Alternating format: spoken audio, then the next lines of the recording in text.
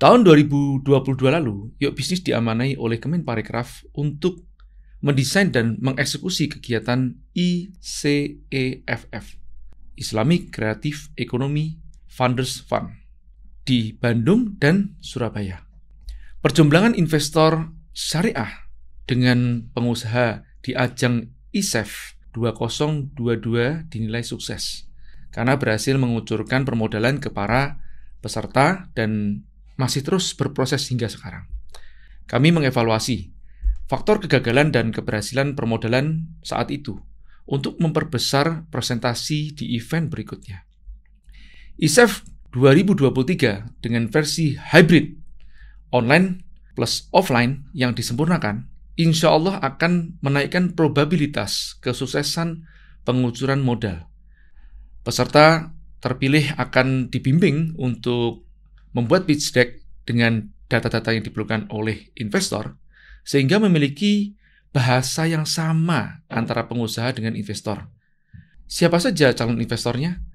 Kami hadirkan dari berbagai lembaga keuangan syariah seperti perbankan syariah, fintech syariah, security crowdfunding syariah, Baitul Mal, dan yang spesial di tahun 2023 ini juga kami datangkan para angel investor.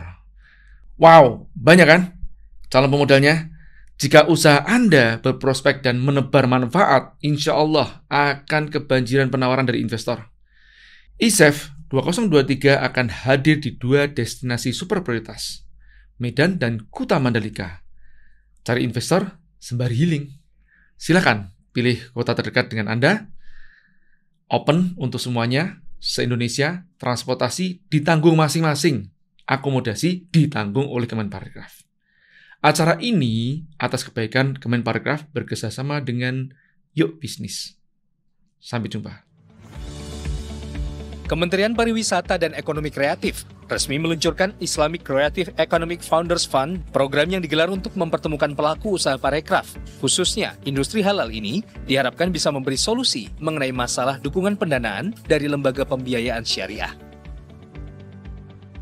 Saya Widyati Wulandari, owner dari The Mamam. The Mamam merupakan alumni ISEF 2022 Section Bandung. Alhamdulillah kita berkesempatan menjadi finalis ISEF yang kita dapat ilmu yang luar biasa mulai dari ilmu mindset dari Mas Jaya Setiabudi, injek kompetensi hingga kita diajari untuk membuat pitch deck dan uh, bagaimana pitching investor.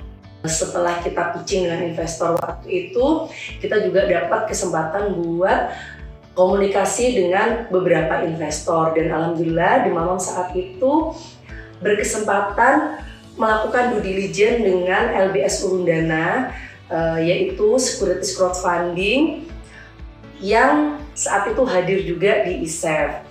Setelah due diligence selama enam bulan, Alhamdulillah 13 Desember kemarin kita berhasil melakukan penawaran saham perdana yang alhamdulillah grand openingnya juga waktu itu langsung di kantor Kemenparekraf dan dilakukan oleh Bapak Sandiaga Uno.